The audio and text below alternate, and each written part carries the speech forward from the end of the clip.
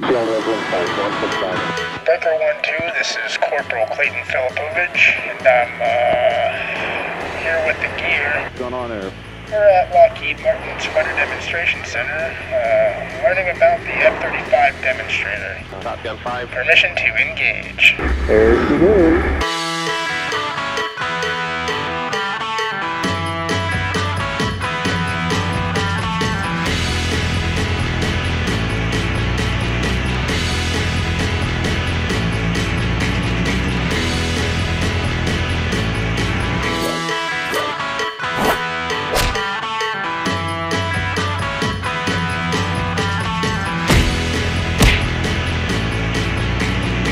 Hey guys, so I'm here with Bob Rubino, who's the director of the F-35 program here in Washington, D.C. Now, sir, as I understand, you're a former pilot yourself.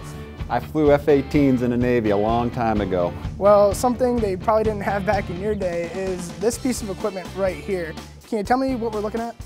This helmet isn't anything close to what I ever flew with. It is cool. This thing has the ability to take all of the world around it and put it on the pilot's visor, and that gives the pilot the ability to look through the aircraft. Sir, that sounds awesome. Do you mind if I try it on? All yours. All right.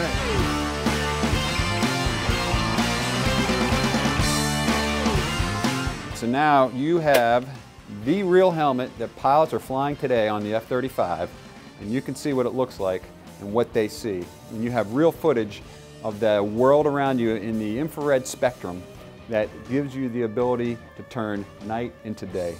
And if I were to look down, I can basically see right through the airplane as if it's kind of like x-ray vision. That's exactly right. All right, sir, if you don't mind, I'd like to go over to the F-35 demonstrator and uh, give that a try. Let's go do it and show everybody how easy this airplane is to fly. All right. All right, sir. So here we are inside the demonstrator. What can you tell me about the screen? Well, so welcome to the most advanced cockpit ever designed for a fighter aircraft. And you can see this is a little bit different probably than other fighter aircraft that you've seen before. You have two touch screens. What I like to say, they're almost like two iPads that you have with you here. The other neat thing about this cockpit is it's voice activated, so you almost have like a Siri working for you. Well, what exactly are we looking at here on this screen? It looks like a, a tower on the ground. Your job is to take out the control tower of the enemy airfield. As you can see, it's uh, showing up as a target here. All right, well, I'm ready to put some warheads on foreheads right now, sir. Well, I think it says in range, and I like your, your, your mentality, so feel free to push the pickle button.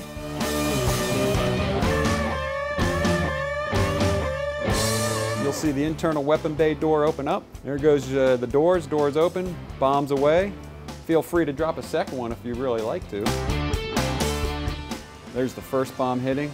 Impact, well done. As you're coming off the target, the guys you just bombed, there were some guys that did survive and are now radioed to the fighter aircraft that were in the area that there's somebody out here. So they're starting to look for you and there's a couple of bad guy airplanes that you need to go take out.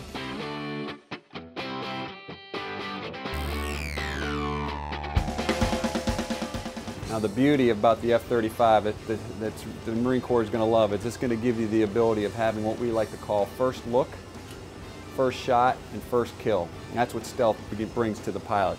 All right, sir. Well, it looks like mission complete, so thank you for showing me the Corps' newest aviation technology. It's lethal, it's survivable, you're able to execute the mission and come back and land on the L-class carrier in a very simple and easy way. Well done.